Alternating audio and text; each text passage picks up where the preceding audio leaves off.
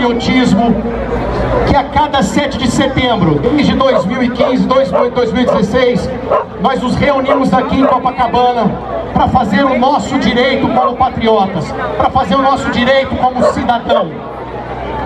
Senhoras e senhores, nós estamos lidando me parece, com aquela criança mimadinha que é o dono da bola. Aonde a gente vai jogar e ele é o dono da bola e olha, ninguém vai jogar porque eu é que sou o dono da bola. O careca criado com leite de cabrinha está mandando e desmandando e principalmente tomem cuidado também com outro sistema chamado algoritmo. O algoritmo alinhado com STF, ele não está vendo o que você posta, ele está vendo qual é o seu lado. Se você se manifesta com um lado de oposição, você é censurado. Eu tenho sete dias de Instagram censurado. Eu trabalho inclusivamente com a comunidade surda. O meu trabalho é exatamente incluir e dar acessibilidade à comunidade surda e respeitar direitos dos outros, aqueles que nós também não gostamos e não curtimos, nós também respeitamos. Então, a liberdade de expressão é inegociável. Fora Alexandre de Moraes! Fora Lula ladrão! É, pessoal, é difícil. Estamos vivendo realmente tempos difíceis, mas nós, como foi falado aqui pelo nosso amigo Mariano,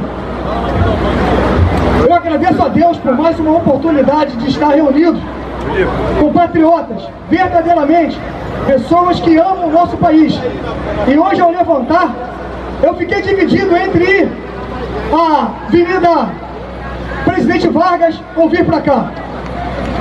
E não foi muito difícil decidir. Mais um preso político e que já poderia ter tido o benefício da progressão de regime. Mas o excelentíssimo senhor ministro do Supremo Tribunal Federal não, não concedeu o privilégio ou o direito da própria crise. Ela não é a crise econômica, não é a crise da saúde, não é a crise da segurança pública. É uma crise civilizatória, uma crise de significados.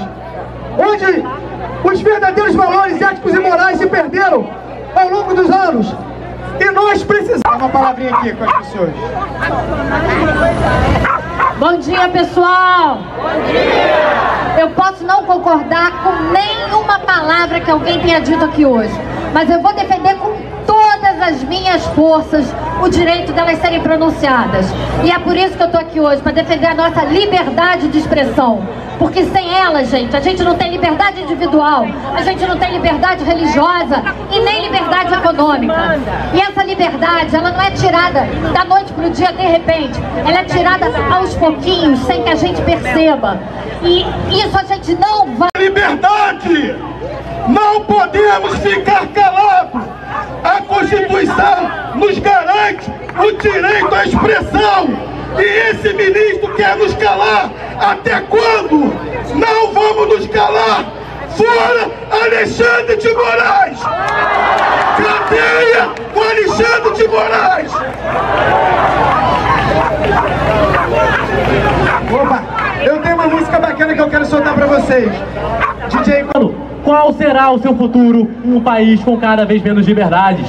Uma juventude que olha para Alexandre de Moraes e não vê só um juiz autocrático, mas um risco à nossa democracia. Uma juventude que quer defender a Constituição.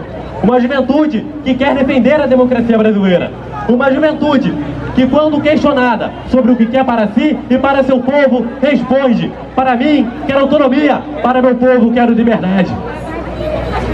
Hoje o Twitter é um dos maiores meios de comunicação e acesso à informação em todo o mundo. A política mundial acontece lá. Biden desistiu de sua campanha e o fez o um anúncio pelo Twitter. Quando Emmanuel Macron, presidente da França, vai dar uma declaração. Esse falta de respeito com devido processo legal, isso fere a democracia. Isso tem que acabar e nós não podemos aceitar isso. Por isso hoje nós estamos aqui reunidos para gritar junto, fora Alexandre de Moraes! Fora Alexandre de Moraes! Fora! Senado, reaja, Senado!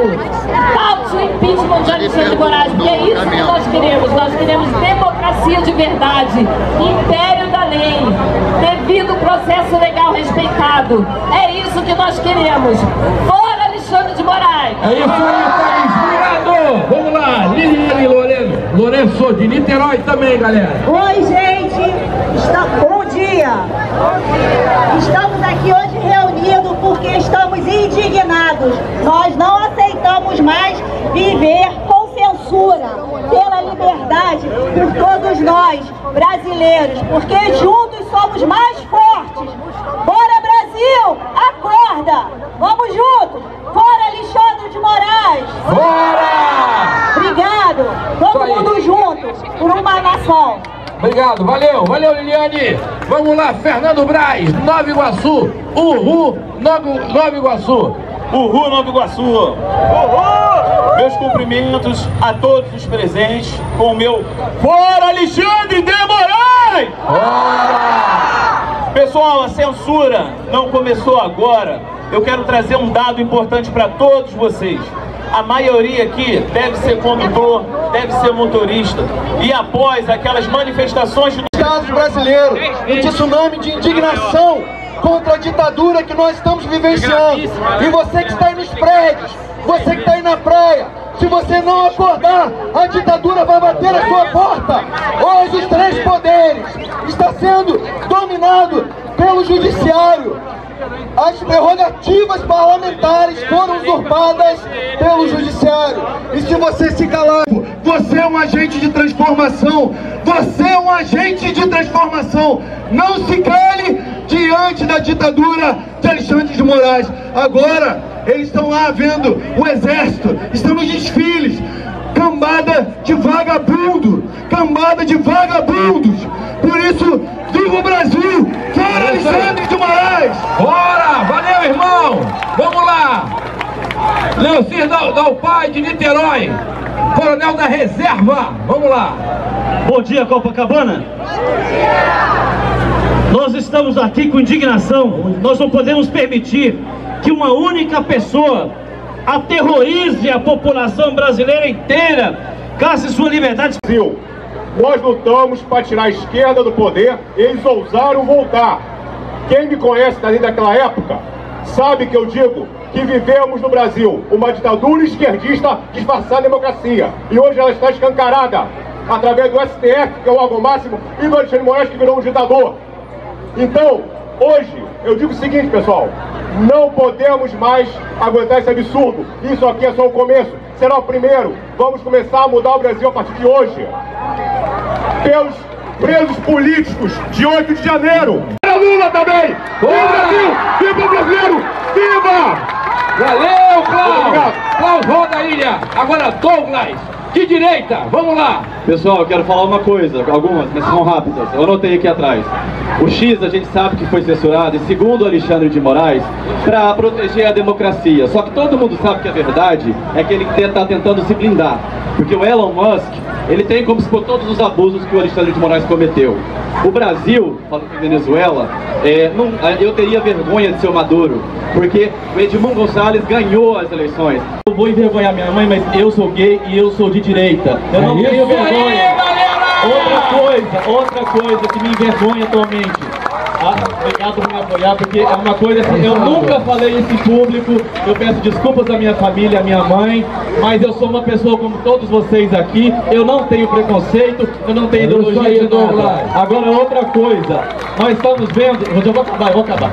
A Amazônia está pegando fogo, não tem um artista falando nada, sabe por quê? Estão todos comprados, todos comprados.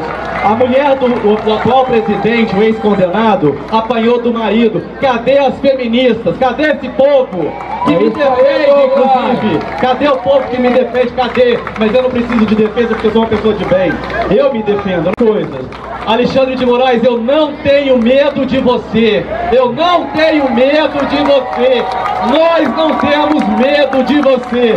E Lula, eu não votei em você, nunca acreditei em você. Você não é pai dos pobres. Você é um vagabundo. Você usa o meu dinheiro para viajar. Você e essa moça que tá aí. Então eu não aceito. Desculpa, eu sei que eu não vou entender. E a última coisa. Vamos gritar? Fora Lula! Fora! Fora Alexandre de Moraes! Fora! Gente, eu tô preso desde que esse, esse pilantra tá na, na, presidência. Eu tenho 45 anos, eu não sou novinho. Eu tenho a minha orientação sexual. E isso não me define, é meu caráter sim. Obrigado, é galera. Valeu, Douglas! Tamo junto!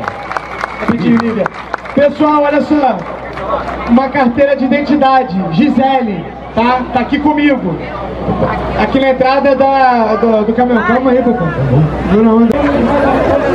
Fora Alexandre Moraes, fora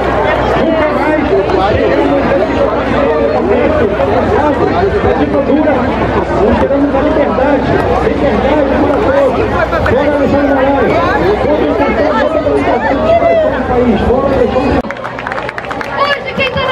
da república é um déspota! Um governo que não tem povo, que foi eleito por um conluio de ministros do STF, que não tiveram um voto! E quem se acha... Vai tirar Alexandre de Moraes em 2024!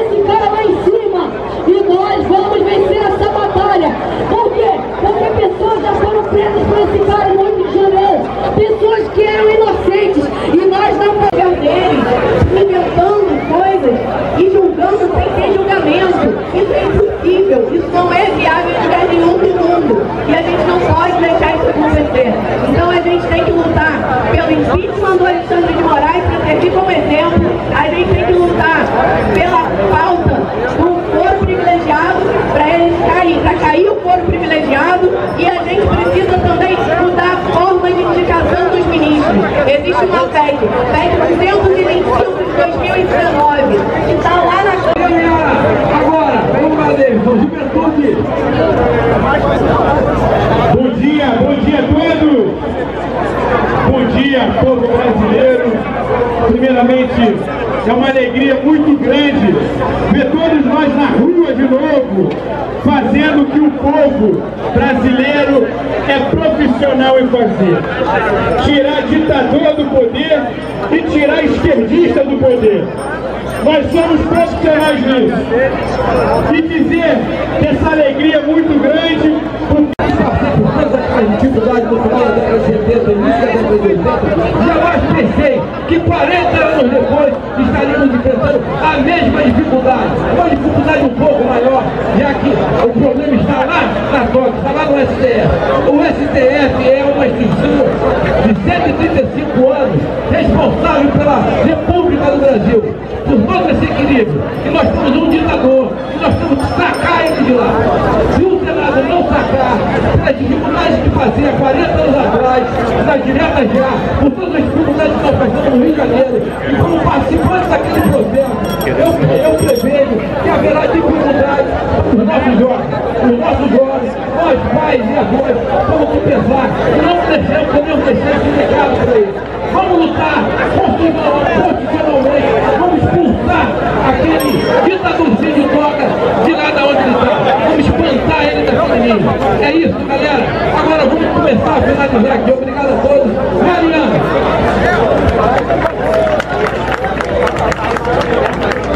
Pessoal, vou divulgar aqui, pediram a lista de apoio ao projeto de iniciativa popular da Mulheres do Papu Está na hora de assinar essa petição para que vocês mostrem a força do povo brasileiro.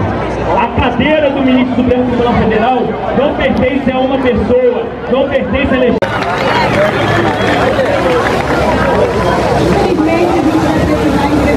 Infelizmente,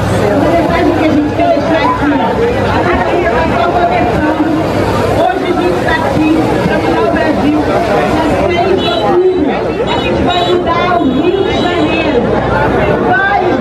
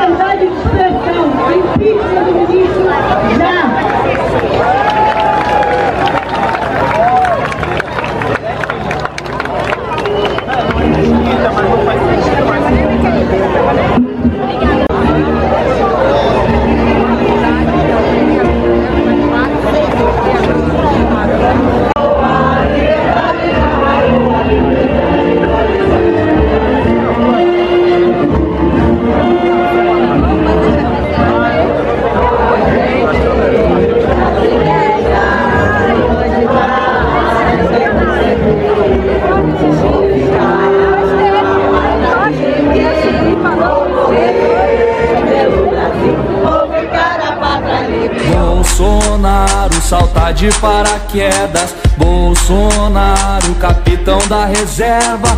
E o Bolsonaro casou com a Cinderela. Enquanto Jean Willis só tava vendo novela